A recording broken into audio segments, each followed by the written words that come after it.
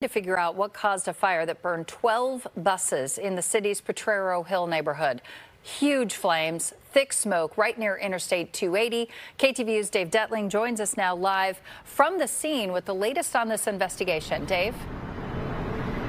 Hey, good morning. Well, like you said, this fire still under investigation. One neighbor tweeting out that they could smell and see the smoke from their apartment building more than a block away. And as the sun comes up this morning, we're getting a better look at the scene here. You can see the bus slot and the charred remains. One of those buses right there, the flames ripping right through that metal. And we are here located across the street at 23rd in Iowa. Now, take a look at the video from last night. Here's what we know. You can see flames shooting into the air as the fire ripped through several shuttle buses. The San Francisco Fire Department arrived on scene just after 10 o'clock, and we're told in total about a dozen buses were severely damaged, some of them a total loss. Now, the company that owns them is San Francisco Minibus, and according to their website, they handle charter tours around the city. They offer private events and taxi and limousine-like services. Talking to a rep over the phone, the company said it is aware of the fire and is working with the insurance company to sort the situation out. Now, I spoke to a guy on the way to work. He passes this bus lot every morning.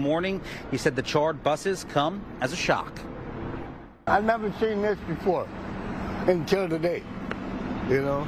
And what goes through your mind? it's a shame that stuff like that should happen.